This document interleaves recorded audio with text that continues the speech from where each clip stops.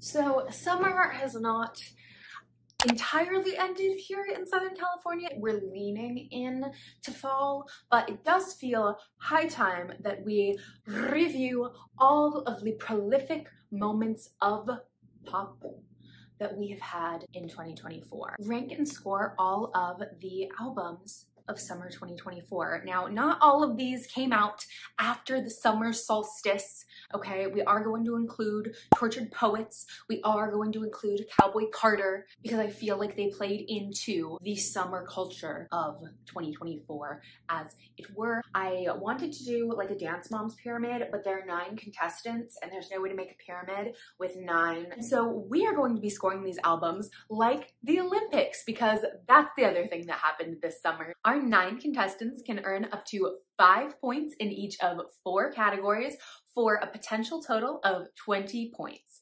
Those categories are quality of work, what is the quality of these songs, of this album? Was the work that was put out musically good? Was it of a prolific and good quality for the artist from whence it came? Vibes. When you think of this album, the overall vibes. How were the vibes? Playlist longevity. How long will the songs from this album stick around in my like driving playlist, in my playing while I'm hanging out with friends playlist? How long will I see these songs and not hit skip? How long will I see these songs and think to add them to different playlists to where I want to hear them again? How long will I be recommending these songs to friends by putting them on playlists that I send them? How long will I be going out of my way to listen to the songs on this album. Do I think it will just be for the next few months since it came out, or do I think that it will last for years and months to come? And finally, cultural impact. What did this album do in society on the internet. How did that come off? How did that play out? How did it feel? How did it look? Each of these nine contestants can have up to five points in each of these four categories for a potential grand total of 20 points. And at the end, we will review and we will see our gold medalist, our silver medalist, and our bronze medalist albums for summer 2024, but also the rest of them because we're just going to talk about how they stack up and we're going to see all of them at the end. Okay, let's do it! So Cowboy Carter. Quality of work. Three out of five. I liked Cowboy Carter. I did. It was not my favorite Beyonce album. Was it yours? Was it your favorite Beyonce album? Was it your favorite of Beyonce's work. And I understand that Cowboy Carter had a purpose and was a larger statement than just like Beyonce hopping on the country train. It does not contain most of my favorite Beyonce songs. And I'm not like a Beyonce stan or anything, but I like her. When I look at all of the songs and all of the ones that I liked more than other Beyonce songs on other albums, it ends up being a three out of five performance. There are some songs I really, really like, don't get me wrong. I've, I've listened to this album and I do like it. I really like how it starts. I like American Requiem goes into Blackbird and I like how it loops if you let Amen end and then it starts over at American Requiem. It just sounds so incredibly beautiful. Big fan. Not my favorite Beyonce record to listen to front to back. And again, I'm not a Beyonce stan, so if you have something to say about that, let me know. Vibes, four out of five four out of five. I feel like there was a very clear intention and a very clear statement made with this album. And I feel like generally sonically, it fit that when you listen to it from front to back, you kind of feel the vibe that it's trying to give out.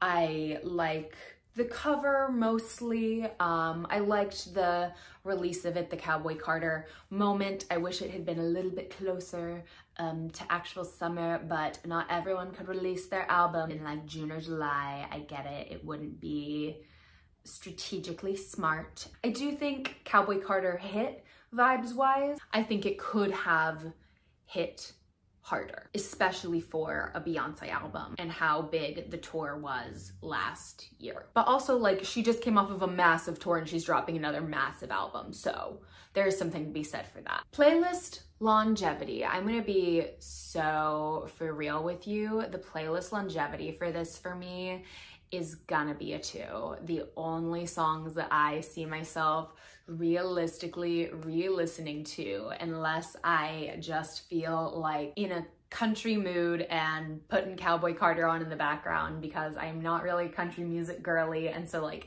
this is the closest that I feel like I would get to like listening to a country record from front to back is listening to Cowboy Carter um, on a loop while I'm like cleaning or something or driving maybe like on a long drive. Really the only ones that I'm going to pull up again are and I know this isn't everyone's favorite song, Texas Hold'em and Ya Ya and Two Most Wanted. That's it. And I pull up more songs than that from past Beyonce albums. Let me know what ones you will be pulling back up. And finally, cultural impact, four out of five. The statement, Beyonce always has something to say with her albums, man. And this was absolutely no different. The rollout of it, the theming, the subject matter, the entire just movement of Cowboy Carter by Beyonce absolutely had a cultural impact. Do I think it could have been bigger? Yes. I feel like the Cowboy Carter hype really kind of petered out pretty much entirely by June. So that puts Cowboy Carter with a three, a four, a two, and a four solidly at 13. I want to talk about Eternal Sunshine. Remember that? The Ariana album um, where she asked why we care about whose dick she rides. What? Quality of work. For me, it was a three. I am not a huge Ariana stan. I do like a handful of her songs though. I was much more of an early Ariana fan. I liked My Everything and Dangerous Woman. I liked the single Thank You Next. I was iffy on the album. Did not like Positions and I like this only slightly more than Positions and there are just some songs that I think are like definitely not her best work and feel a little bit phoned in but have some like nice elements to them for me that I feel like lift them up just a little bit. And I will add just like a little bit of credit for my bias of not being like a huge Ariana music style fan um, of her and how she is right now in the first place. So for her quality of work, I think it is fair to put it at a three. Vibes, this was a two for me. The vibes were kind of just like, she speaks on the SpongeBob affair, question mark. Saturn Returns were kind of the vibes. I really did enjoy when you looked a little bit further into it, some of the really true breakup feelings that are present in this album and so I wanted to give it credit for that as well especially how much I like We Can't Be Friends and how I don't feel like it necessarily focuses on the end of a marriage but does definitely bring some real good breakup album vibes in kind of um dare I say in the same way melodrama did not um, that I think this album is anywhere nearly as good as Melodrama, but I feel like Melodrama was a breakup album without being like so clearly outwardly a weepy breakup album, but like if you really listened, it kind of was. And if you really listen, I think this kind of is a little bit too. There are happy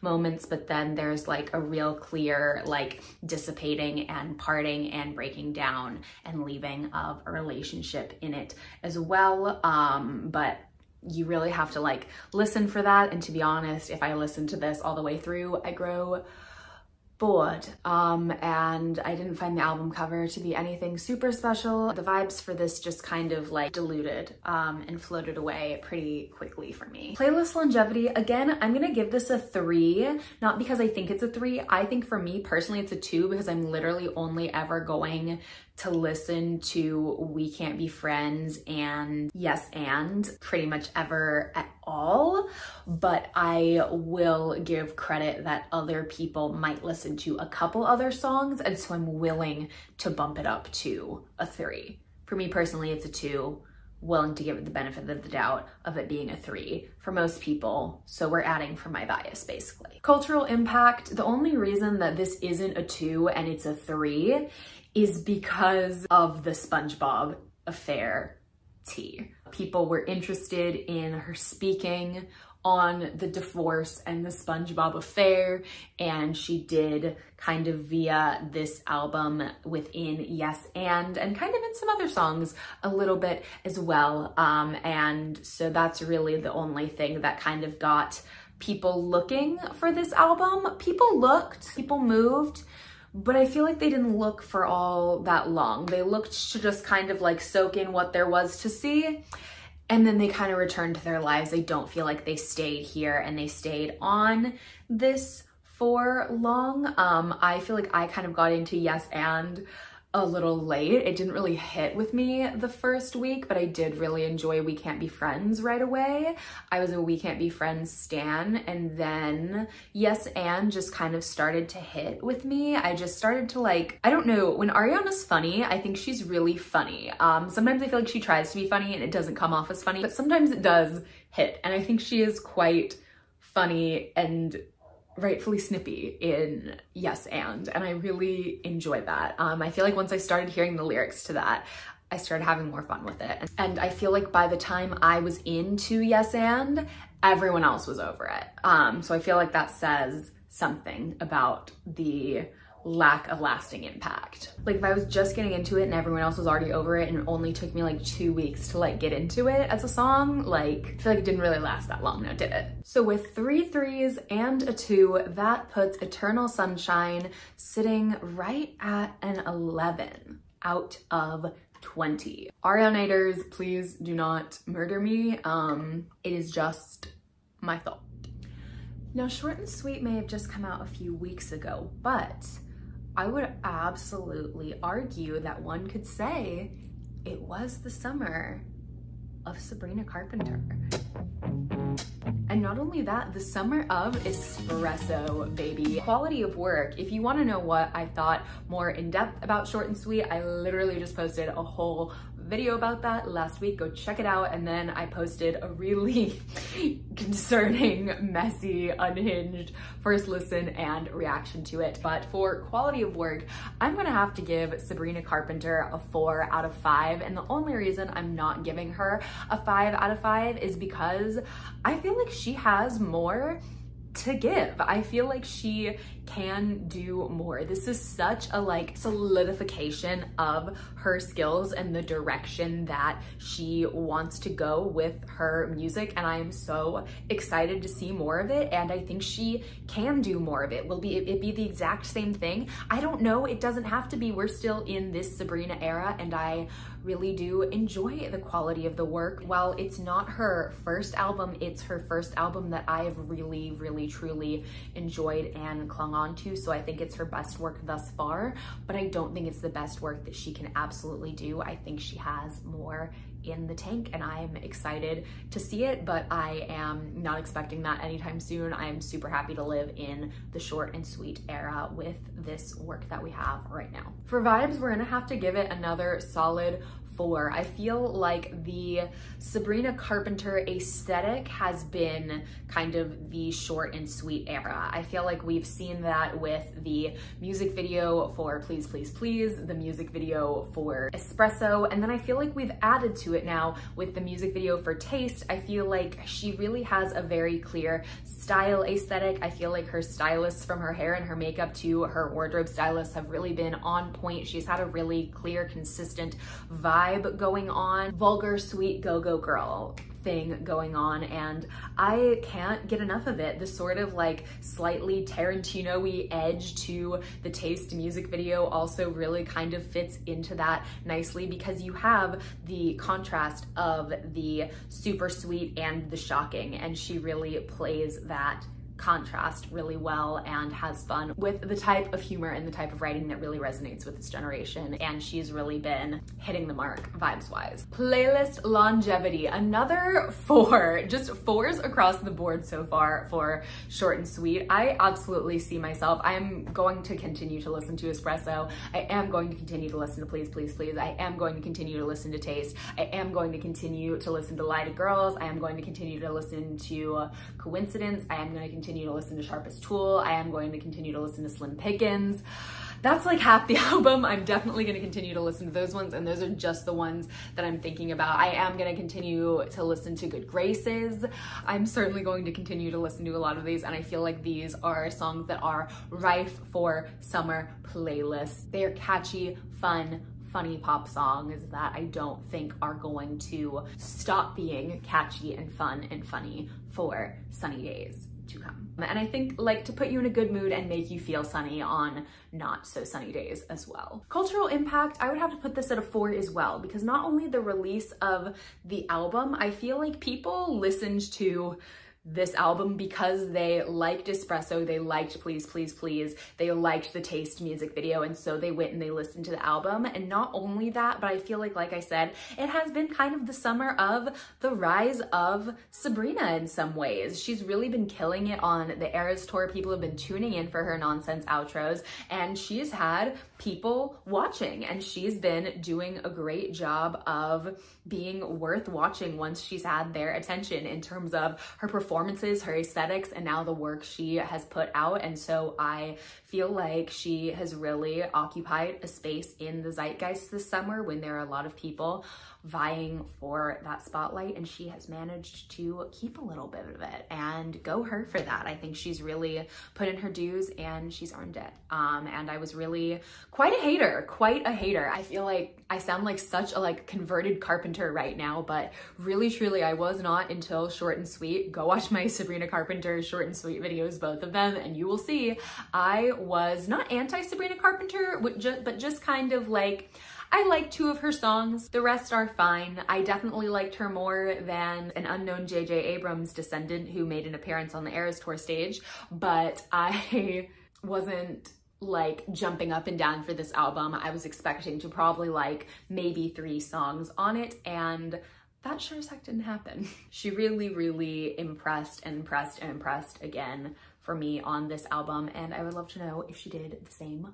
for you. That brings Short and Sweet to a grand total of 16 out of 20 because short, sweet, and mighty she is.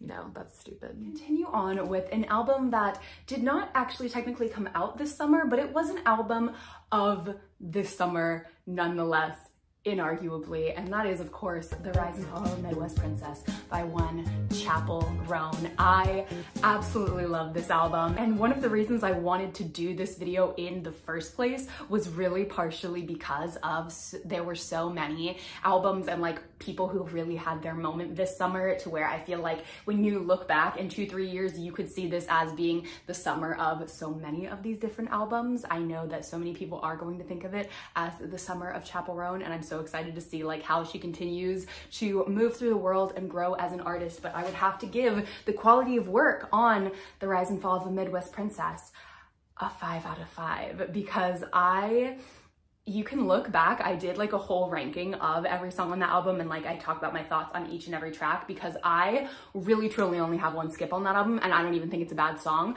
Every single other one just feels like it has it does its own thing, but fits into the whole so beautifully. It feels each and every moment of each song feels so tailored and so intentional. There are so many moments where you can tell exactly what she was trying to do and she hits it so perfectly. It is just such a timeless album to me. I think that I will be listening to the entirety of it for years and years and years to come. I have really like gone through phases of listening to it and then like come back around on it just since I started listening to it in like December, January of last year. I love these songs. I think they take the best parts of so many amazing parts of music and really sew them together in a way that is now a signature of Chappell. The vibes are once again a five. Are you kidding me? Have you seen the looks that she and her band have been turning each and every time they pull up on stage? The aesthetic is just so clear and beautiful and 80s and glam rock and drag and the glitter going to the club with your friends, picking a fight, having fun, talking about it the next morning, messy relationships, hooking up, falling in love, discovering yourself. There's just so many beautiful layers that really link in together and create this amazing aesthetic that Chappell just continues to grow and embody so wonderfully. Her hair, her makeup, there's just so much vibe. There's just so many vibes to this album. This album is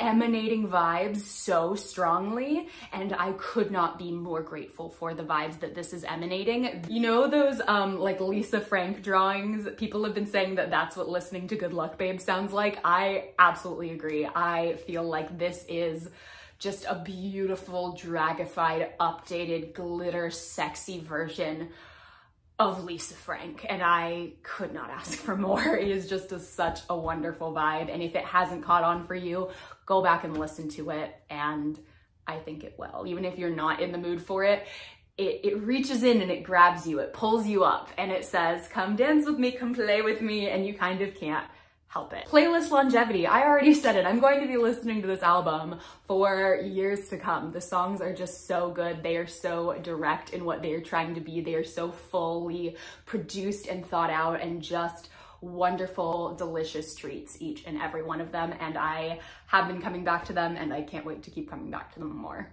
Let me know what your guys' favorites on this album in particular are. I feel like that's a very, not a controversial topic, but everyone kind of seems to have a different opinion. Playlist longevity, another five. And finally, the cultural impact of the rise and fall of a Midwest princess at a four. Um, which the only reason I put it, I don't put it at five is that it is so late after it, this album had like a slow burn rise to it. And so I feel like it didn't have necessarily the full cultural impact that I really truly believe in my heart, these songs and this work and just this album as a whole, um, marketing, aesthetic, vibes, and all really could have had. And so for that reason, I do bring it down to a four. And because I do think that there are some people who are just learning about or have not learned about Chappell Roan quite yet. Um, so for that reason, I do have to put the cultural impact at a four, not a five. But that puts The Rise and Fall of a Midwest Princess sitting at a 19 out of 20, which is gonna be pretty hard to beat. Let's talk about Billie Eilish. Hit Me Hard and Soft. I did, even as a Swiftie, listen to Hit Me Hard and Soft. I am a medium Billie fan. I've enjoyed all of her albums, to be honest. I've enjoyed like a good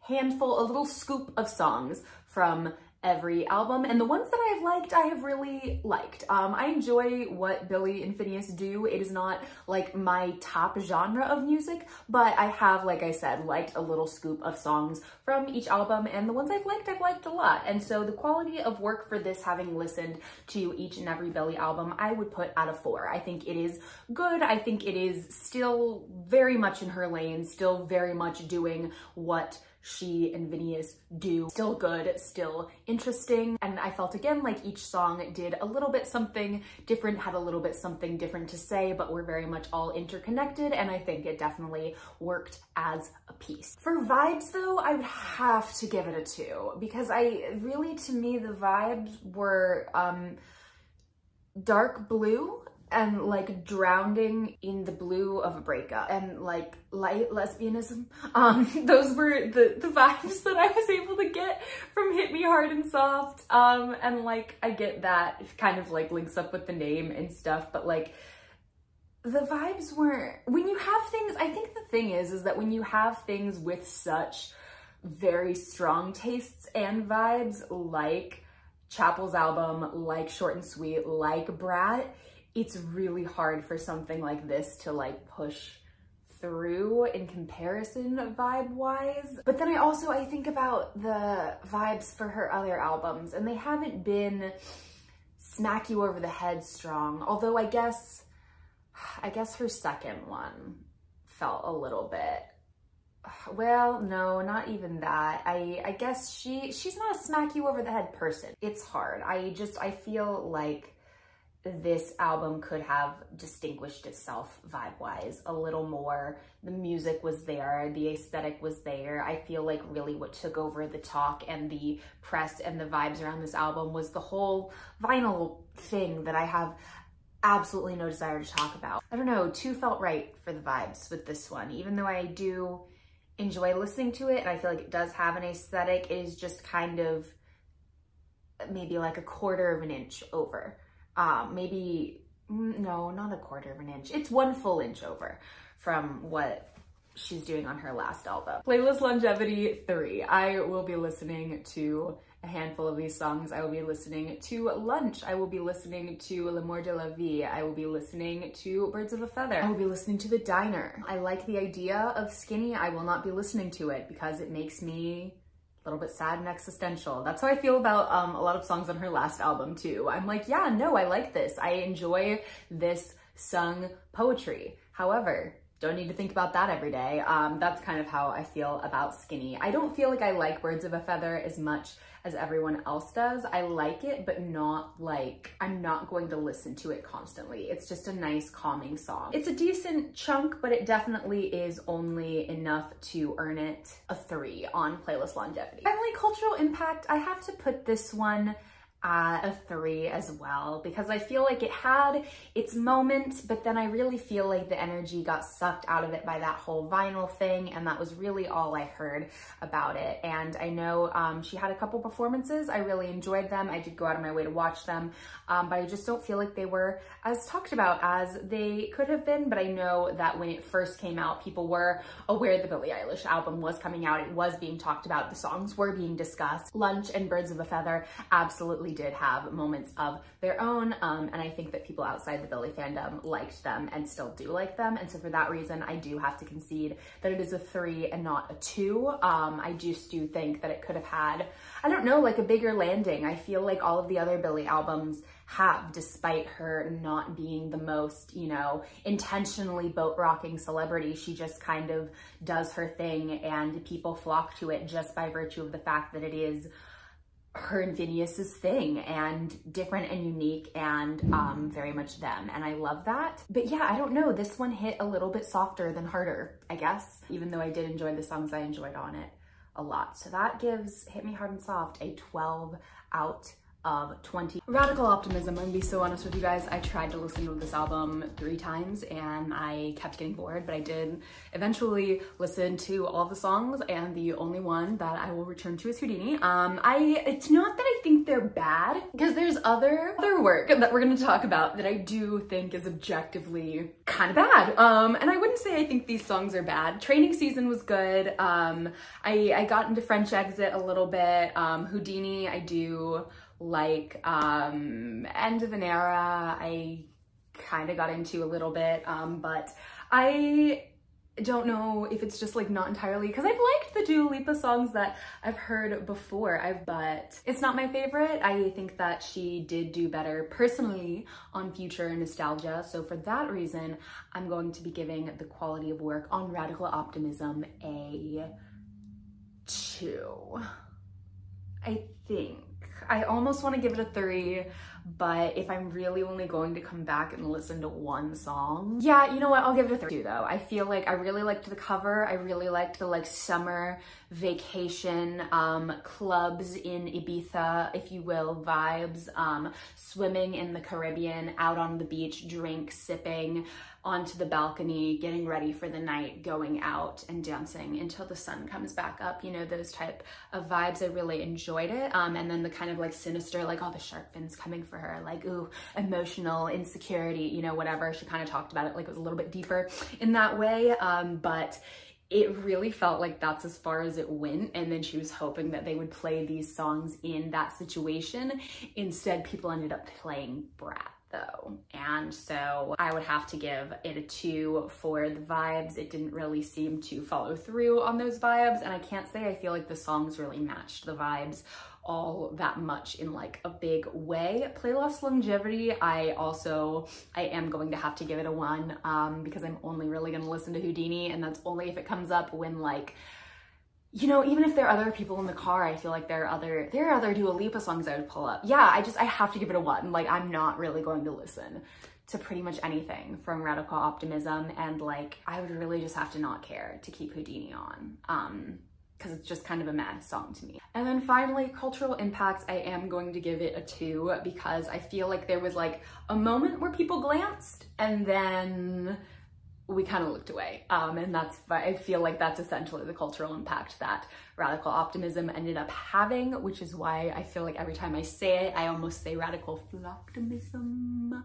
Maybe that's just the echo chamber I'm in though, um, which tells me that which tells me that big Dua Lipa stands didn't actually love this either. Let me know if you did, because that puts Radical Optimism at an 8 out of 20, um, which if you are keeping track, puts it right at the bottom of the ones we've done so far. But worry not, worry not, trust me. Um, we still we still have we still have some surprises to go. We have a few, we have a few more, um, and they are interesting contenders. Of course, we have to talk about Brat. Of course, we're going to talk about Brat. I think that the quality of work on Brat was a five, actually. I'm not huge on Charli XCX. I've just kind of been like a casual singles listener for the most part, but I really enjoyed listening to Brat all the way through. Um, there weren't really any songs that I like listened to that I was like, mm, this seems like filler. Mm, I don't understand why this is here. Um, not each and every one of them are going to be in my playlist forever. We'll get to that with playlist longevity, but I feel like it fits together as a cohesive album. I think the message and the purpose and the aesthetic is very clear, not only with like the campaign, but the music itself. I feel like it all fits together really well. And I feel like each song definitely has its place, whether that's more deep or more shallow, they all feel like they actually do something and I get what they're trying to do. And for the most part, I enjoy it. Vibes. I, I've got to put the vibes for Brat at a five. I feel like if you understood what Brat Summer was, you understood because it was so incredibly clear. Like it was vague, but it was clear. Like you you knew it was going out. It was hose don't get cold. It was smoking cigarettes, but only when you're drinking. It's jumping around on a sticky club floor and your jeans and your going out top and mixing sweat and probably other things with all of the people dancing around you. It's the mascara on your lower lash line the next morning while you're standing outside your building holding a cigarette with a tank top on and no bra. We know what Brat is trying to revive. This is kind of the dirtier side of the recession pop coin. It's just a little bit less glittery. It's a little more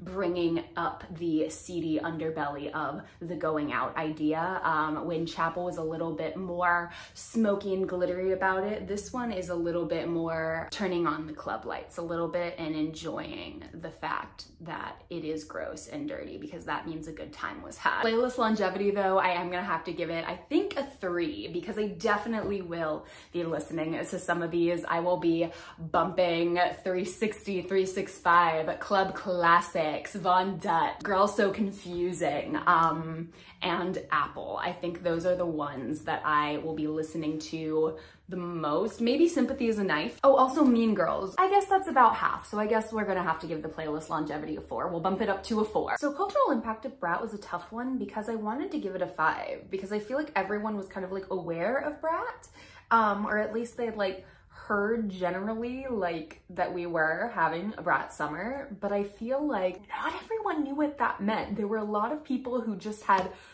not a clue, not a single clue. And so for that reason, I did bump the cultural impact down to a four. But that still leaves Brat at an 18, which is a very impressive showing. But of course, CXOXO.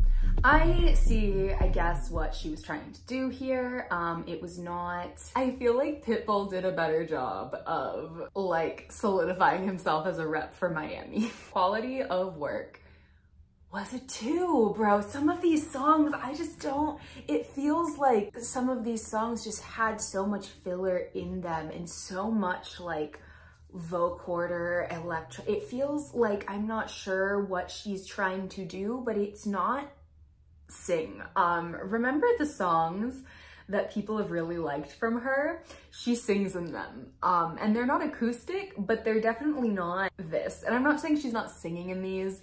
It's just very, um, very manufactured and very almost bad Daft Punk. I don't know. Um, it's just not my favorite. And so quality of work, I did have to give it a two. Vibes, I again have to give it a two because I just feel like it was trying and not succeeding to reach what it wanted to do. And I feel like a couple of tracks really did hit that. Um, and I did enjoy those tracks. But other than that, I don't feel like anything else really contributed to the vibes other than like the cover. And I feel like if the collection of songs had been good, then like it might have locked in with the cover and all been like the vibe she was trying to achieve. I just don't um, see it. Dreamgirls and Dade County Dreaming are the only songs that I could possibly in any world see myself replaying from this album.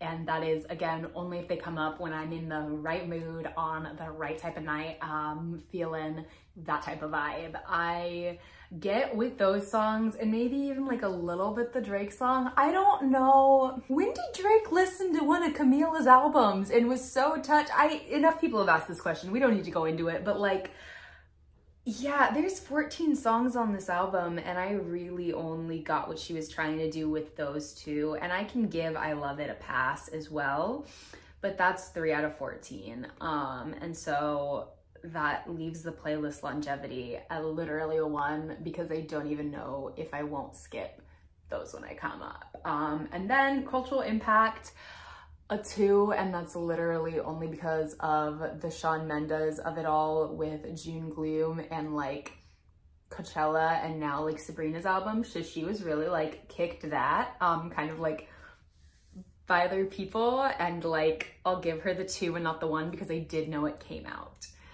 But like, I am someone who's like checking for pop music, not necessarily checking for Camila, but like I'm someone who's paying attention. Um, so I'm not even sure if the fact that I knew about it even says anything. So that puts um, Miss Camila with CXOXO securely at the base. Um, okay, let's talk about Tortured Poets. Um, quality of work for Miss Taylor. As a Swiftie, I would have to say that this was not the 100% best work we've seen from her yet, but I do think it was really great in a lot of ways. And I do think that there were some career highlight lines here. I think I'll have to sit with it to see if there are career highlight songs, but I really do think there were at least two. And so for that reason, I'm gonna have to give the quality of work a five. I think that there are some really, really good songs on this album and not to mention just that the sheer amount of work at the quality that it is. You know the quality threshold really doesn't drop too terribly low within these except for in my opinion one song. And like that is not other people's worst song. You know, she really does keep up the quality of her work, even though not every single song is my absolute favorite. She does really keep serving it pretty much all the way through the end, with the exception of, like I said, only one track. And so I feel like for that, I do have to give her a five for quality of work. I am biased as a Swiftie, but I do have to give it to her. It is quite spectacular, the amount of fantastic songs that she was able to put out. Vibes, however, I am gonna have to give it a four. I feel like this vibe-wise had about the same strength as Midnights. It's there, and I feel like the kind of sad, writerly, um, dark wood album was very much necessary from her. I wish it was a little bit more quill pen, curly, flowy. Um, I feel like there's a little bit too much ballpoint pen in here for my taste um, for the aesthetic of this album. It is there. I just wish that we expanded a little bit further with it. I think that there have been stronger era vibes, but like I said, I do think vibe-wise it is equivalent with, if not a little bit stronger vibe-wise than Midnights. So we are going to leave it at a four with that one. Playlist longevity, I'm also going to give it a four. There's a lot of songs here and I will listen to a lot of them again and a lot of them I will probably just let play when I have my Taylor Swift like songs on shuffle and some of them I will skip. Not very many though. And so I feel like it's enough. You know, I've really sat with this album for a decent amount of time. I feel like most Swifties are kind of getting familiar with how this album is going to pan out and sit in their lives now that it's been around for a minute. We haven't had it for a full year. I feel like that's when you really, really know. Um, but I feel comfortable right now saying that it's playlist longevity for me among Taylor songs is going to be at a four because there are songs like The Bolter and Who's Afraid of Little Old Me and Fortnight and The Black Dog that I am definitely, definitely, definitely going to listen to again. And then more that I can definitely see myself reaching out for when I'm in a specific mood or just letting play. Now, cultural impact. This one I have to give a four as well because I feel like it did and then it kind of didn't. Um, but when it did, it really did. You know, I feel like the buildup was really strong. And then I feel like the release with the double album was really strong. And then I feel like it really just kind of faded into the Eras tour and became part of that um, instead of being its own tortured poets phenomenon all summer long. I feel like people were clowning for Rep TV so hard and that Taylor had to wear like a tortured poets reference dress to the VMA and everyone was like, oh, okay, we're still in tortured poets era. We're still in tortured poets era. Like I feel like it hasn't had a huge enough craze and identity of its own to really have people be like, oh yeah, the tortured poets department. Like I'll bet you so many non-Swifties don't actually know the full title of that album. They're like the Poets Society. If you are keeping track, that puts the Tortured Poets Department at a 17. So that puts the final ranking at Camila Cabello, C, XOXO, with seven points. Dua Lipa, Radical Optimism, with eight points. Ariana Grande, Eternal Sunshine, with 11 points. Billie Eilish, Hit Me Hard and Soft, with 12 points. Beyonce, Cowboy Carter, with 13 points. Sabrina Carpenter, Short and Sweet, with 16 points. In third place with the bronze medal for album of this summer, Taylor Swift, with silver and second place, Charli XCX, Brat, with 18 points. And finally, Chappell Roan, The Rise and Fall of a Midwest Princess with 19 points. Thank you so, so very much for watching this video and for making it to the very end. If you agreed with, disagreed with any of my scores, any of my rankings, please let me know in the comments down below. Let me know what your ranking and maybe like your scores would be for these albums. I think I am going to have like an emoji for each of these. So show me your ranking of these with like emojis, like the order that you would rank these albums in. Once again, thank you so, so very much for being here. I will be back next week with another video. We are hopping back on every week, uploading. We are here, we are doing it, we are excited, and I have so many more videos that I'd like to film for you guys. I just need to find the time to do them, but I'm so, so happy to be here and filming because this is one of my favorite things to do. So thank you guys so, so much for being here. Every like, every view, every comment means the absolute world to me because I am a YouTube girly at heart. So thank you, thank you, thank you. And I will see you very soon in the next one.